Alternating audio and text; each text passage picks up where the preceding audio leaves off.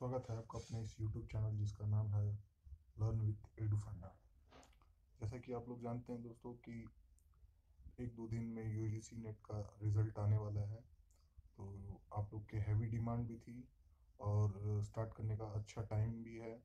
तो आज से हम लोग यूजीसी नेट पेपर वन की पूरी तैयारी करेंगे हम लोग और आज हम लोग बस इसके सिलेबस के बारे में डिस्कस करेंगे। ताकि सिर्फ़ और आपको पता चल जाए कि सिलेबस में क्या आना है क्या पढ़ना है और क्या चीज़ इम्पोर्टेंट है। क्योंकि इस बार का जो एग्ज़ाम था हुआ था वो काफ़ी उसका फॉर्मेट अलग था। जो क्वेश्चन के फॉर्मेशन थे वो काफ़ी अलग थे। क्योंकि उन्होंने ऑप्शंस काफ़ी टफ लेवल के रखे थे। और मैक्सिमम मतलब मैक्सिमम लोगों का आ, मेरे पास मेल आया और लोगों ने बताया कि उनको बड़ी मुश्किल से ही ट्वेंटी फाइव मतलब बहुत मुश्किल से ट्वेंटी फाइव तक पहुँचा है। किसी किसी लोगों का ही बस ट्वेंटी फाइव प्लस गया है। और जैसा कि आप लोग जानते हैं कि जैसे हम लोग जे आर एफ़ क्लियर करने के लिए हमको मिनिमम कम से कम thirty two plus thirty two plus आपको एकदम करेक्ट क्वेश्चन करने ही करने होते हैं पेपर वन में। तो आप हमारे, मेरे साथ बने रहिए और मैं आपको एकदम गारंटी देता हूँ कि अगर जो आपने मेरे साथ और मेरे पढ़ाए हुए मटेरियल्स को पढ़ेंगे और मैं जैसा बोलूँगा आप उसको फॉलो करेंगे। तो आपको नो डाउट आप पेपर वन में थर्टी फाइव प्लस गेन करेंगे। ठीक है? तो आइए पहले हम आज सिलेबस के बारे में थोड़ा सा डिस्कस कर लेते हैं कि हमारा सिलेबस है, वो क्या क्या पूछेगा। और जैसा कि आप लोग जानते हैं कि यू नेट का जो पेपर वन होता है, वो सबके लिए कॉमन होता है तो इसलिए मैंने इंग्लिश और हिंदी दोनों में इसको ट्रांसलेट किया है ताकि आपको मतलब मेरे पास जितने भी मेल आए हैं वो लोग मैक्सिमम लोग हिंदी के लिए डिमांड कर रहे थे लेकिन फिर भी और कुछ लोग थे जो इंग्लिश के लिए डिमांड कर रहे थे इसीलिए मैंने दोनों को कंबाइन कर दिया है। तो जी क्योंकि हिंदी मीडियम वाले मेरे पास मतलब मेरे लोग जानने वाले जो लोग हैं वो जिनके डिमांड पे ये वीडियो आ रही है वो आ, हिंदी मीडियम वाले काफ़ी उनकी संख्या ज़्यादा है। और इंग्लिश इंग्लिश मीडियम की थोड़ी कम है। इसलिए मैं ये जो पेपर होगा, वो पूरी की पूरी हिंदी में डिस्कस करूँगा और जहाँ पे मुझे लगेगा कि नहीं, मुझे इंग्लिश में आप लोग को समझा देना चाहिए तो वहाँ पे मैं आपको डिस्कस करूँगा। और एक चीज़, और ये जो पेपर था, वो मैक्सिमम ये जो लेक्चर होगा, वो मैक्सिमम लोग इसको फ़ोन पे देखते हैं तो इसलिए इसको फ़ोन के फॉर्मेट से ही डिज़ाइन किया गया है। यानी आपको फ़ोन को लैंडस्केप मोड में नहीं, आपको पोर्ट्रेट मोड में ही रख के आप आराम से इसको ईजी वे में लेक्चर अटेंड कर पाएँगे और अच्छे से समझ पाएँगे। ठीक है? तो आइए स्टार्ट करते हैं आज का हमारा पहला जो टॉपिक है यूजीसी नेट इसका लेटेस्ट सिलेबस क्या है, उसके बारे में हम आज जानेंगे।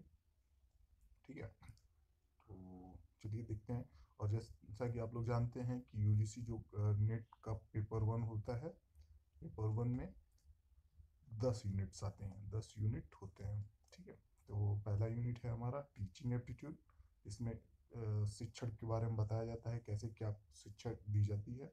रिसर्च एप्टीट्यूड जिसको हिंदी में अनुसंधान बोलते हैं। कॉम्प्रिहेंशन जिसको मतलब एक स्टोरी टाइप हो जाती है, उसमें से आपको चार पाँच क्वेश्चंस रिलेटेड पूछा जाएगा।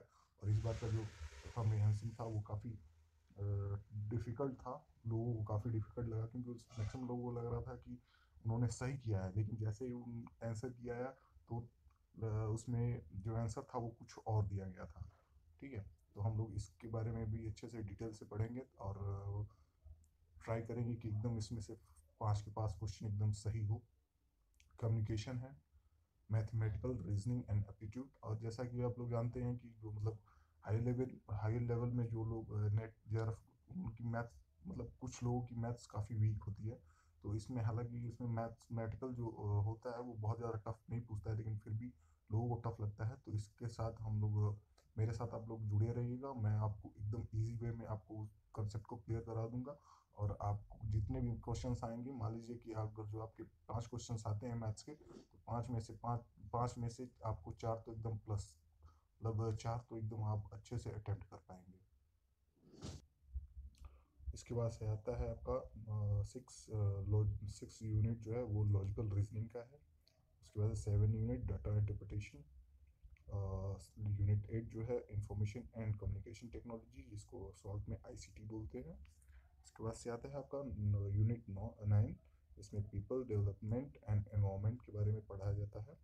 उसके बाद से आता है यूनिट टेन इस बार जो यूनिट टेन मतलब हायर एजुकेशन सिस्टम इस बार हायर एजुकेशन सिस्टम से काफ़ी क्वेश्चंस पूछे गए थे। तो इसको हम लोग बहुत अच्छे से और डिटेल में डिस्कस करेंगे। ठीक है? तो आइए पहले तो ये तो था, बस एक ओवरव्यू था कि हमारा जो यूनिट वन में क्या हो यूनिट टू में।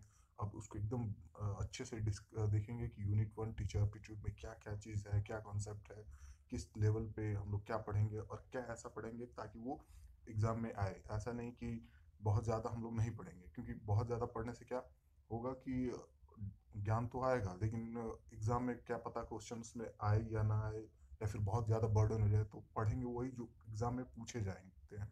क्योंकि कोई भी एग्ज़ाम को देने से पहले आप लोग उसको प्रीवियस ईयर के जितने भी सेट्स हैं, उसको लगाइए, आपको आइडिया हो जाएगा कि हाँ इसमें क्या क्वेश्चन जो है, वो पूछा पूछा जाना है। ठीक है? तो उसका आइडिया बन जाएगा और उसमें आप लोग आराम से इजी वे में उसको सॉल्व कर पाओगे। तो हम लोग बहुत ज़्यादा, क्योंकि जो के वी एस मैदान की जो बुक है उसमें तो बहुत बहुत ज़्यादा डिटेल में है और उतना डिटेल में शायद ही कभी पूछेगा और ये है नहीं कि अगर जो आपने, कि अगर मैक्सिमम लोग आप यू जी नेट की तैयारी कर रहे हैं तो आपके आपके पास के वी एस मैदान की बुक तो होगी ही होगी और ऐसा कोई नहीं होगा जिसने पूरी बुक को अच्छे से मतलब एकदम अच्छे से, क्या बोलते हैं उसको, एकदम लर्न कर लिया हो, एकदम अच्छे से याद कर लिया हो। क्योंकि ये बुक जो है ये काफ़ी हैवी बुक है और इसमें जो वर्ड्स हैं वो काफ़ी डिटेल्स मतलब हाई फाई वर्ड्स यूज़ किए गए हैं हिंदी के। इसलिए वो थोड़ा सी टफ हो जाती है और हम लोगों को बस एग्ज़ाम को क्लियर करना है जे क्लियर करना है, ना कि टॉप करना है, ठीक है? तो एग्ज़ाम एग्ज़ाम ओरिएंटेड हम लोग पढ़ेंगे, बस करेंगे ऐसा कि ताकि हम लोग मेरिट में आ जाएँ और हमारा जे क्लियर हो जाएगा, क्योंकि बहुत लोगों को मान, बहुत लोगों का मानना है कि जे नेट बहुत ज़्यादा टफ है, ऐसा कुछ नहीं है। टफ टफ वगैरह तो मतलब आता है तो बहुत इजी है, नहीं आता है तो बहुत ज़्यादा टफ है, लेकिन ऐसा नहीं है कि जे आर एफ़ और नेट बहुत ज़्यादा नेट का पेपर है तो बहुत ज़्यादा टफ है। ऐसा कुछ नहीं है, मैंने फ़र्स्ट अटैम्प्ट में ही क्लियर किया है, ठीक है? तो ऐसा ऐसी कोई डरने वाली बात नहीं है कि नहीं नेट है तो बहुत ज़्यादा टफ हो, ऐसा कुछ नहीं है, ठीक है? तो आइए हम लोग इसको अच्छे से डिटेल में पढ़ेंगे।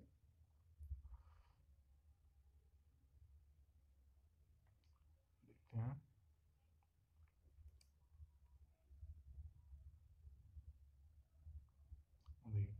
टीचिंग एप्टीट्यूड में क्या है? टीचिंग एप्टीट्यूड में आपका शिक्षण, अवधारणा, उद्देश्य, शिक्षण के स्तर, जिसमें स्मृति स्तर, समझ स्तर और चिंतनशील स्तर, लक्षण और बुनियादी आवश्यकताएँ शिक्षक देखिए थोड़ी सी मेरी हिंदी पे मत जाइएगा, शब्दों में मत जाइएगा। जो लिखा है इस पे जाइएगा, क्योंकि थोड़ी सी मुझे हिंदी पढ़ने में थोड़ी सी कठिनाई होती है। शिक्षार्थी की विशेषताएँ, किशोर और वयस्क शिक्षार्थियों के लक्षण, शैक्षिक, सामाजिक, भावनात्मक और संज्ञानात्मक व्यक्तिगत अंतर। ये मतलब टीचिंग एप्टीट्यूड में ये ये चीज़ें जो हैं, हम लोगों को पढ़नी है, क्योंकि ये लेटेस्ट सिलेबस में मेंशन है, ठीक है? और इसी को चीज़ को इंग्लिश में हम लोग देखते हैं टीचिंग एप्टीट्यूड में। Teaching concept objectives level of teaching memory understanding and reflective learners और क्या आ गया? ये factors affecting teaching related to methods of teaching in institution of higher learning teaching support system evolution system credit system in higher education computer based testing innovations in evolution systems ये सब इस teaching aptitude के अंदर हम लोग को पढ़ना है, ठीक है? आइए यूनिट टू में देख लेते हैं क्या है। और ये उसका है वो जो टीचिंग एप्टीट्यूड था ये उसका सारा का सारा जो मैंने इंग्लिश में पढ़ा वो सारा है हिंदी में ठीक है? इसको देख लिए सीखने का माहौल और उच्च स्तरीय शिक्षा में देखिए एक चीज़ देख लिए कि हम लोगों को ये पढ़ना आप एज एज अ सिलेबस अगर जो आप पढ़ेंगे तो थोड़ी सी इसमें कठिनाई होगी क्योंकि कठिनाई इसलिए होगी कि अगर जो आपके दिमाग में बैठ जाता है ना कि मुझे यही पढ़ना है और ये एग्ज़ाम में आएगा ठीक है? तो थोड़ी सी पढ़ने में थोड़ी सी दिक्कत होती है क्योंकि आ, उसको लगता है कि हाँ मतलब एज अ वर्क हम लोग लेते कि हाँ नहीं, मुझे ये काम करना ही करना है। लेकिन ऐसा नहीं है। आप लोग ये जितना भी आप टीचिंग एप्टीट्यूड रिसर्च एप्टीट्यूड और जो टीचिंग एप्टीट्यूड पढ़ रहे हैं तो इसको ये सोच के पढ़िए कि हम लोग इसको पढ़ लेंगे तो अच्छे से अच्छे चीज़ों को हम लोग डिस्क्राइब कर पाएँगे, अच्छे से अच्छे चीज़ को समझा पाएँगे। क्योंकि यही वो सारी की सारी चीज़ें हैं जो एक स्टूडेंट और टीचर मतलब टीचर नहीं, आप तो प्रोफेसर हो गए असिस्टेंट प्रोफेसर हो गए तो टीचर और स्टूडेंट मतलब कैसे अपने आप में कनेक्टिविटी बना पाएँ, कैसे अपनी बातों को वो समझा पाएँ। टीचर जो है कितने मतलब क्योंकि क्लास में सभी लोग एक माइंडसेट के नहीं होते हैं कि कोई किसी को अच्छा समझ में आता है, किसी को देर से समझ में आती है, किसी को बातें समझ में ही नहीं आती हैं, बिल्कुल भी। तो वो सबके लिए कैसे सबको इक्वल लेके चले ताकि जो बहुत तेज है, वो भी बहुत मतलब वो बहुत आगे ना निकल जाए मतलब निकल जाए, लेकिन जो पीछे है वो बहुत पीछे ना रह जाए। मतलब सबको एवरेज में लेके चलना है ताकि जो डेवलपमेंट हो, माइंड डेवलपमेंट हो, वो इक्वली हो। ताकि बहुत ज़्यादा ये नहीं कि मतलब पढ़ने वाला बच्चा है तो वो पूछता जाता है, पूछता जाता है, आप उसको बताते जाओ, उसको बताते जाओ, और पीछे वाला जो बच्चा है वो उसको आता नहीं है तो उसको छोड़ दो। ऐसा तो है नहीं क्योंकि हम लोगों को सिखाया गया है कि इक्वल बाय एग्ज़ाम जब स्टूडेंट हॉल में जब स्टूडेंट हो तो वो सब सारे इक्वल हैं, चाहे वो कोई भी हो। और उनका माइंडसेट कि ऐसा भी हम लोग को सबको पढ़ाना है। सबको मानसिक रूप से हर चीज़ से उन लोगों को डेवलप करना है, ठीक है? यही सब चीज़ें इसमें पढ़, पढ़ाई जाती हैं और इसमें कुछ नया नहीं है। जब आप पढ़ोगे तो आपको एकदम मतलब पढ़ोगे तो आपको लगेगा कि काश मतलब बहुत सारे ऐसे लोग मतलब हम आप लोग होंगे एस्पिरेंट्स होंगे, जो, जिनको ऐसा माहौल नहीं मिला होगा।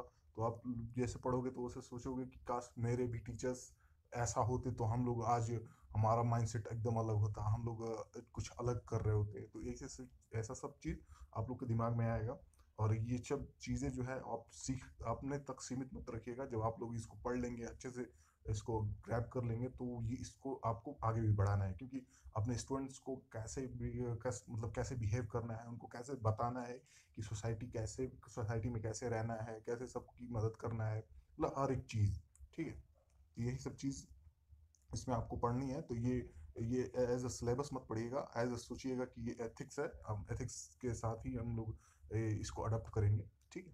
तो ये बहुत जल्दी समझ में आएगा और इसमें बहुत ज़्यादा कुछ है नहीं कि मैं आपको इसमें बताऊँ। अब देखिए रिसर्च एप्टीट्यूड रिसर्च एप्टीट्यूड क्या होता है? क्योंकि अगर जो मान लीजिए, अब बहुत लोग होते हैं जिनका जे हो जाता है तो वो पीएचडी के लिए अप्लाई करते हैं और पीएचडी के लिए अप्लाई करेंगे तो पीएचडी में मतलब आपको रिसर्च करना ही पड़ेगा, ठीक है? तो ये रिसर्च एप्टीट्यूड में क्या, कैसे क्या होता है जैसे मान लीजिए रिसर्च का मीनिंग क्या है, उसका टाइप क्या होता है, उसके प्रोस्पेक्टिव क्या होते हैं मेथड्स क्या मेथड्स ऑफ़ रिसर्च क्या होता है स्टेप्स ऑफ़ रिसर्च क्या होता है, कितने इसके फॉर्मेट्स वगैरह होते हैं तो ये सब चीज़ें आपको इसमें रिसर्च एटीट्यूड में पढ़नी है, ठीक है? तो आप लोग इसको एक बार गो थ्रू हो जाएगा आप लोग। और मैं पढ़ दे रहा हूँ, हिंदी में पढ़ दे रहा हूँ, क्योंकि इंग्लिश में तो आप लोग अवश्य पढ़ ही लोगे, हिंदी में थोड़ी सी हिंदी वाले थोड़ा सा समझ जाएँ। ठीक है यूनिट टू में है अनुसंधान योग्यता मतलब रिसर्च एप्टीट्यूड को हिंदी में बोलते हैं अनुसंधान योग्यता। अनुसंधान के अर्थ है इसमें, इसके प्रकार, विशेषताएँ, प्रत्यक्षवाद, अनुसंधान के लिए उत- उत्तरोत्तर दृष्टिकोण। देखिएगा मेरे मतलब मैंने पहले ही बोल दिया कि हिंदी शब्द मेरे मत जाइएगा, क्योंकि थोड़ी सी हिंदी मेरी कमज़ोर है, ठीक है? अनुसंधान के तरीके, प्रायोगिक वर्णात्मक ऐतिहासिक, गुणात्मक और क्वांटम के तरीकों में गुणात्मक। अनुसंधान के चरण ठीक है? थीसिस थीसिस और लेख लेखन संदर्भ के प्रारूप और शैली ठीक है? तो ये हमारे इसमें आते हैं किसमें? रिसर्च एप्टीट्यूड में ठीक है?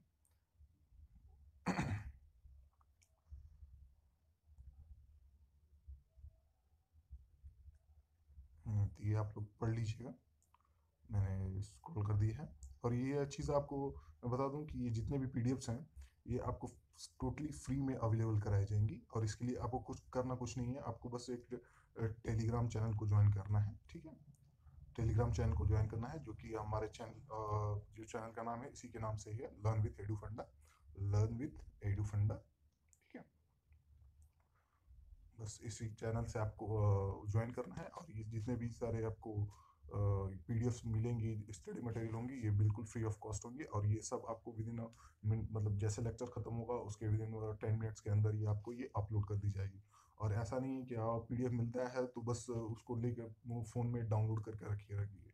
नहीं पीडीएफ मिलता है तो उसको आप लोग एक बार देखिए, खुद से उसको ट्राई करिए, पढ़ के मतलब एक बार पढ़ लेंगे तो काफ़ी कुछ तो फोर्टी परसेंट तो आपको आ ही जाएगा।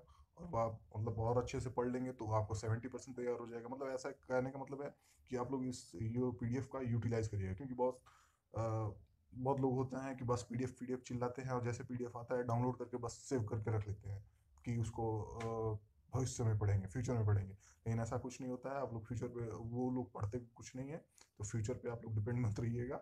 आप लोग जैसे पीडीएफ मिलता है उसको थोड़ा सा आप जैसा टाइम मिले आपको, जैसा टाइप का टाइम टेबल सेट है, उस टाइम टेबल के हिसाब से उसको पढ़िएगा। और मैं गारंटी देता हूँ कि आप उसमें पेपर वन में thirty five plus thirty five plus gain करेंगे। और जो कि मेरा सब्जेक्ट जो है, वो जियोग्राफी है। ठीक है? जियोग्राफी है। तो आप लोग अगर आप लोग बोलेंगे तो हम, मैं जियोग्राफी का भी पेपर टू के जियोग्राफी के लिए भी मैं क्लासेस स्टार्ट कर दूँगा, क्योंकि बहुत जल्दी हम लोग इसके बहुत लोगों का तो मैसेज आ रहा है, लेकिन मैं सोच रहा हूँ कि एक लार्ज नंबर ऑफ़ अमाउंट हो जाए, ठीक है? तो इसलिए मैं रुका हुआ हूँ कि उतनी नंबर उतने नंबर को वो हिट कर जाए तब मैं इस जियोग्राफी के लिए, क्योंकि जियो जान क्योंकि ये जितने भी आपको पीडीएफ वगैरह मिलते हैं या फिर मिलते हैं लेक्चर्स वगैरह मिलते हैं, ये सब डिज़ाइन करने में काफ़ी समय लगता है। और मैं चाहता हूँ कि जितना मैं समय दूँ, उसका यूटिलाइजेशन हो। यूटिलाइजेशन का मतलब कि मान लीजिए मैं एक पीडीएफ को बनाने में एक घंटे लगते हैं तो मैं चाहूँगा कि कम से कम उस, वो दस हज़ार, बीस हज़ार जितने भी बच्चे हैं, मिनिमम दस हज़ार लोग देखें, उसको, उससे बेनिफिट लें। तभी मुझे लगता है कि हाँ खुद से एक सेटिस्फेक्शन आती है कि हाँ चलो मेरे मेहनत सफल हुई। ठीक है? तो आज अगर जो आपको वीडियो पसंद आती है अच्छा लगता है तो इसको आप क्या करिएगा, आप शेयर करिएगा अपने दोस्तों के साथ। ऐसा तो है नहीं कि ये बहुत ही कॉस्टली है, पैसा लगेगा नहीं। आपको आपको शेयरिंग करने में एकदम एक रुपये भी नहीं लगते हैं फ्री ऑफ़ कॉस्ट है और जितने भी ये कोर्सेज होंगे, वो आपको टोटली फ्री में अवेलेबल कराए जाएँगे और ए टू जेड यानी कि जो आप देख रहे हो कि एक से लेकर टेन जो यूनिट है, आपको एक एक यूनिट आपको कवर कराया जाएगा और वो भी एग्ज़ाम से मतलब एग्ज़ाम से पहले मतलब एग्ज़ाम से लगभग एक महीने पहले, क्योंकि आप देख रहे हो कि एस नेट का जो रिज़ल्ट है, वो एक दो दिन में आने वाला है। और इसका जो यू नेट का जो ऑफिशियल नोटिफिकेशन है वो आपका मार्च मिड तक, मार्च मिड तक आ जाएगा, ठीक है? मार्च मिड तक यानी कि पंद्रह से बीस मार्च तक आ जाएगा और मार्च इसका एग्जामिनेशन में भी जून में होगा, ठीक है? सॉरी जुलाई में होगा। तो आपको एक महीना, क्योंकि हम लोग एक महीने पहले से स्टार्ट कर रहे हैं तो आप मान के चलिए कि ये आपका डेढ़ महीने में वन पॉइंट फाइव मंथ्स में आपका ये जो पेपर वन है वो एंड हो जाएगा। इसके बाद से आपको बस इसको रिवाइज करना है और इसके बाद से जब ये आपका पेपर वन ख़त्म हो जाएगा सिलेबस कंप्लीट हो जाएगा, तब मैं आपको लिए लाऊँगा एक प्रैक्टिस सेट्स जिसमें कि आपको हर जैसे कि एग्ज़ाम में जिससे क्वेश्चंस का परफॉर्मा था, जैसा उसका फॉर्मेशन था, उसी बेस पे आपको हर रोज मतलब डेली आपको एक मॉक टेस्ट होगा। जिसमें आपको पचास क्वेश्चंस मिलेंगे और उसमें आपको सॉल्व करना होगा। और ये क्वेश्चंस का ये, मैंने एक बार इस सरप्राइज़ भी रखा है कि जिसका अगर जो ओवरऑल प्रैक्टिस सेट में अच्छे नंबर्स होंगे, उसको बहुत अच्छी हमारी तरफ़ से गिफ्ट हैम्पर दिया जाएगा हमारे चैनल की तरफ़ से। ठीक है? तो आइए देखते हैं दूसरा सॉरी तीसरा जो है कॉम्प्रहेंशन कॉम्प्रहेंशन के बारे में क्या आप बताना, आप लोग बचपन से ही जानते होंगे कि एक एक स्टोरी दी जाती है। मान लीजिए कोई स्टोरी है, उसके, उससे रिलेटेड पूछ दिया जाएगा, इसका सूटेबल नेम बताओ, इसका मतलब इसमें ये चीज़ था तो वो क्यों था? ये मतलब चार पाँच क्वेश्चन दे दिए जाएँगे और एक स्टोरी दे दी जाएगी और उसी बेस्ड पे आपको क्वेश्चन बताने आंसर बताने होंगे, ठीक है? और यूनिट जो फोर है, वो कम्युनिकेशन है। कम्युनिकेशन मतलब संवाद जो होता है, बातचीत। कम्युनिकेशन इसके मीनिंग्स हैं टाइप्स हैं करेक्टरिस्टिक्स ऑफ़ कम्युनिकेशंस हैं, ठीक है? तो चलिए नेक्स्ट चलते हैं। अब देखिए इसमें कम्युनिकेशंस में ही देखिए इसका effective of communication verbal and non verbal intercultural and group communications classroom communications barriers of effective communications mass media and society ये सब कम्युनिकेशंस के टाइप्स uh, हैं ठीक है? अब इसको हिंदी में देख लीजिए संचार का अर्थ संचार का अर्थ संचार के प्रकार और उसकी विशेषता संचार प्रभावी संचार संस्कृति और समूह संचार कच्चा संसार सॉरी संचार मौखिक अंतर मौखिक और सेकंड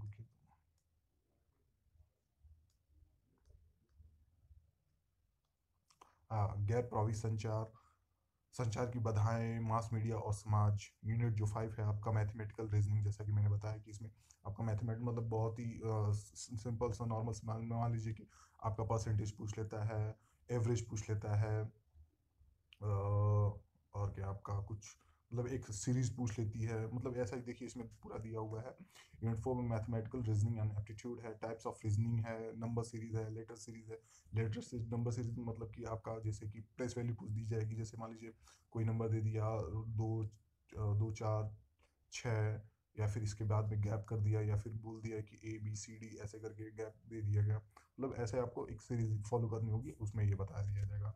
मैथमेटिकल एप्टीट्यूड में आपका फ्रैक्शन आ जाएगा टाइम एंड डिस्टेंस आ जाएगा रेशियो आ जाएगा प्रोपोर्शन आ जाएगा percentage profit loss interest and discount discounting average और मतलब ये सब चीज़ें आ जाएँगी, ठीक है?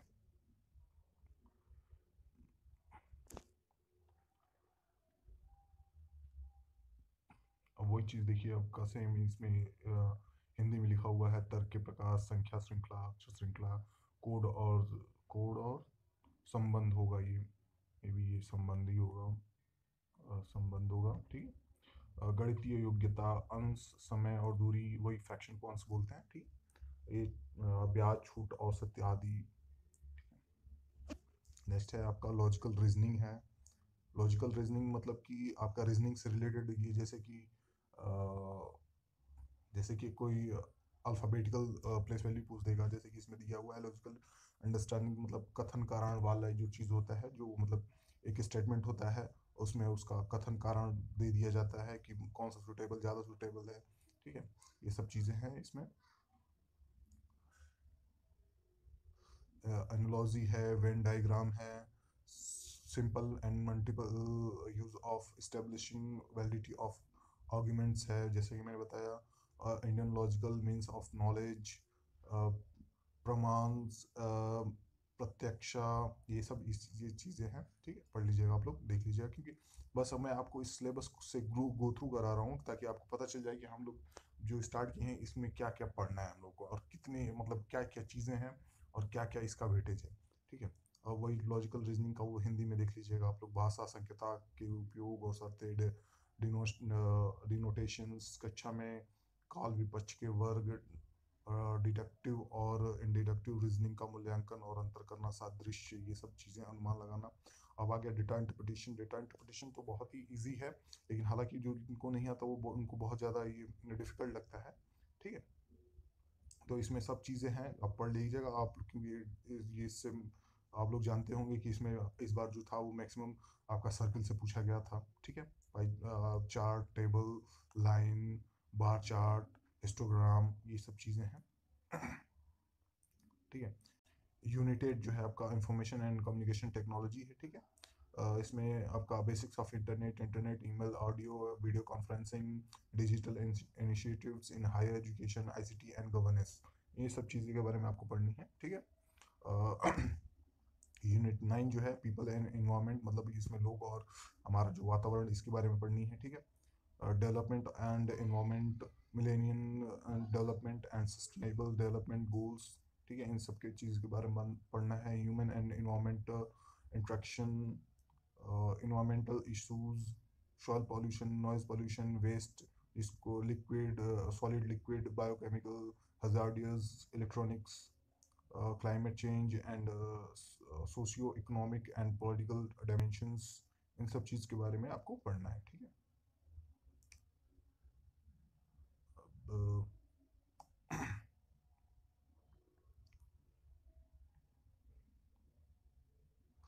ये सब चीज़ें के बारे में आपको पढ़नी है। देख लीजिए इसमें क्या है। Impacts of pollutants on human health natural and energy resources solar wind hydro geothermal biomass nuclear and forest मतलब ये सब चीज़ों के बारे में पढ़नी है, ताकि हम लोग अपने इन्वायरमेंट के बारे में, अपने पीपल्स के बारे में हम लोग अच्छे से जान पाएँ। क्योंकि ये बहुत सारे जो रिसर्च पेपर जो होते हैं, इसमें बहुत इसको डिटेल में उनमें एक्सप्लेन करना होता है, उनके बारे में बताना होता है कि हाँ कौन सी चीज़ किसको इम्पैक्ट ज़्यादा करेगी, कौन सी चीज़ किससे कनेक्टेड है किस कौन सी चीज़ किससे इंटर कनेक्टेड है, एक चीज़ को अफेक्ट करते हैं तो उसका इफ़ेक्ट जो होता है, वो कौन कौन सी चीज़ों पे आता है। इन सब चीज़ों के बारे में आपको पढ़ना पड़ेगा, ठीक है? वही है लोक विकास और पर्यावरण ये सेम चीज़ है, ठीक है? आइए नेक्स्ट देखते हैं। उसी का सेम चीज़ है, आपका हिंदी में ये ट्रांसलेट है। तो आप लोग इसको पढ़ लीजिएगा गो थ्रू हो जाएगा आप लोग आप लोग आराम से। आपको पीडीएफ ऐसा नहीं है कि आपको नोट बनाने की ज़रूरत है। नोट आपको आपको पीडीएफ मिल जाएगी तो आपको नोट्स वगैरह बनाने की ज़रूरत नहीं है, ठीक है? आपका यूनिट टेन जो है हायर एजुकेशन हायर एजुकेशन मतलब उच्च शिक्षा प्रणाली वाली। हायर एजुकेशन सिस्टम जो है institution of higher learning and education in ancient India evolution of higher learning and research in post independence India ठीक है, इन सब चीज़ों के बारे में पढ़ना है, जिस मतलब आपका यू जी पी जी जितना भी होता है, वो आ जाता है। पॉलिसीज़ आता है गवर्नेंस आता है एडमिनिस्ट्रेशन आता है value education and environmental education professional technical and skill based education oriental conventional and non conventional learning programmes in India ये सब चीज़ें के बारे में आपको अच्छे से पढ़ने हैं, क्योंकि इस बार जो क्वेश्चन थे वो इससे काफ़ी पूछे गए थे। तीन क्वेश्चन इससे पूछे गए थे। हर शिफ्ट में मतलब दो या तीन क्वेश्चन तो इसमें फिक्स थे हायर एजुकेशन में। हालाँकि ये पहले जो था वो एक दो क्वेश्चन मिल जाता था, लेकिन इस बार जो था वो तीन क्वेश्चन मतलब मिनिमम दो क्वेश्चन तो हर सेट में पूछे गए थे मतलब हर शिफ्ट में। ठीक है? तो इसी का सेम चीज़ है इसका हिंदी में ट्रांसलेशन है उस शिक्षा प्रणाली प्राचीन भारत में शिक्षा और शिक्षा के स्थान ये सब चीज़ें ठीक है? तो ये हमारा आज का सिलेबस था पूरा। अब इसको हम लोग स्टार्ट करेंगे कल आ, जो हमारा था वो टीचिंग एप्टीट्यूड से स्टार्ट करेंगे यूनिट वन से ठीक है? तो जो आपको आ, वीडियो अच्छी लगी हो तो इसको लाइक करें लाइक करें शेयर करें। और सब्सक्राइब तो कर ही दें, ठीक है? और, ये जो लेक्चर का टाइमिंग जो होगा, वो सुबह दस बजे होगा, दस ए एम पे। क्योंकि ये अच्छी टाइमिंग होती है और जिसमें आप लोग अच्छे से फ्रेश माइंडेड से आप लोग इसको पढ़ाई कर सकते हैं और आपको पी मिल जाएगी तो आप लोग पूरे दिन भी इसको अच्छे से पढ़ पाएँगे। और आप लोग एक बार ज़रूर बता दीजिएगा कि जियोग्राफी के क्लासेस जो है, वो कब से स्टार्ट किया जाए, ठीक है? तो अगर वीडियो अच्छी लगी हो तो इसको अच्छे से अच्छे रिव्यूज़ दीजिएगा और आप कमेंट्स करिएगा। और किसी चीज़ में डाउट हो तो आप कमेंट करिएगा। ठीक है? चलिए तो मिलते हैं अगली वीडियो में।